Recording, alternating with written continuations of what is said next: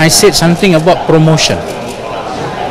That the society cannot accept LGBT being promoted. The, there's one uh, exhibition in Georgetown Festival yang uh, menunjukkan gambar uh, and then written there LGBT punya apa aktivis eh, dan bawa lambang the rainbow so, I, I don't have problem with that but that lambang in itself indicate the the struggle and it's done in a public uh, gallery I contacted. Of course, I'm I'm very concerned of the of the the way you handle it. I don't just say you know put down. You know? So I said check first betul ke?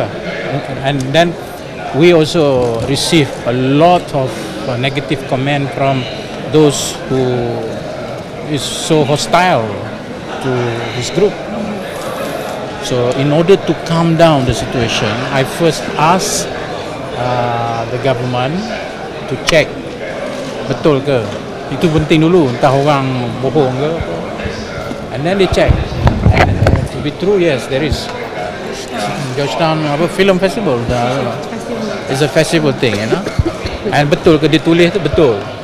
Okay then I think that is not in line with what we have consistently repeating it in the parliament and accepted as a policy of this new government so if I don't do anything about it then it is seen as it is something that challenging the, the the the policy that we ourselves have mentioned many many times.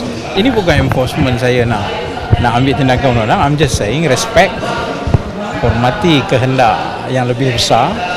Yang kedua dia juga berada keadaan bahaya kalau dia tidak uh, apa memahami konteks dan dan situasi. So that's why I think fair thing to do is okay, you know And then I've, I've, I'm, mana saya pun in contact lah dengan pihak penganjur supaya jangan apa ni unnecessary do unnecessary thing.